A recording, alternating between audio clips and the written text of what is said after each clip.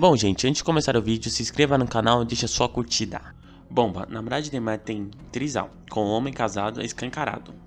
Assumiu publicamente o namoro com a mãe do jogador Neymar. Nadine, de 52 anos, e Thiago, de 23 anos, teve todos os seus relacionamentos homossexuais escancarados. Desde que Dona Nadine Gonçalves, de 52 anos, mãe do jogador Neymar, assumiu publicamente o namoro com o modelo pernambucano e jogador de futebol Thiago Ramos, de 23, o passado do bonitão não para de vir à tona, e cada vez com uma bomba maior ainda.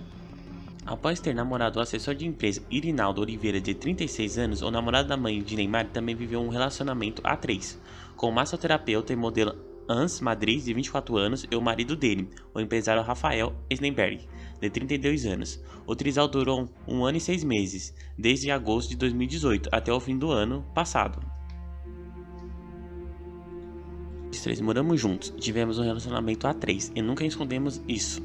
Em agosto de 2018, ele veio morar com a gente e afirmou antes ao Extra, contando que foi apresentado a Thiago pelo próprio marido, que prefere manter discrição e não falar do assunto. O casal está junto há 5 anos e vive num condomínio luxuoso em Osasco, em São Paulo. Ao jornal Extra, Ans afirma que ele e seu marido ficaram surpresos ao saberem que Thiago Ramos estava namorando a mãe de Neymar.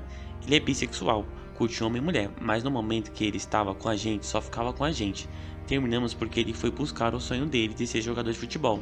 Lembra elogiando, ele é um bom garoto assessor de imprensa Irisvaldo Oliver, que também namorou Thiago Ramos, contou ao jornal Extra que teve relacionamento com o modelo e jogador em 2017 e 18. Oliver admitiu que também sabia das preferências sexuais do namorado, da mãe de Neymar, e afirmou que ele sempre foi bi, porém sempre gostou de mulheres mais velhas.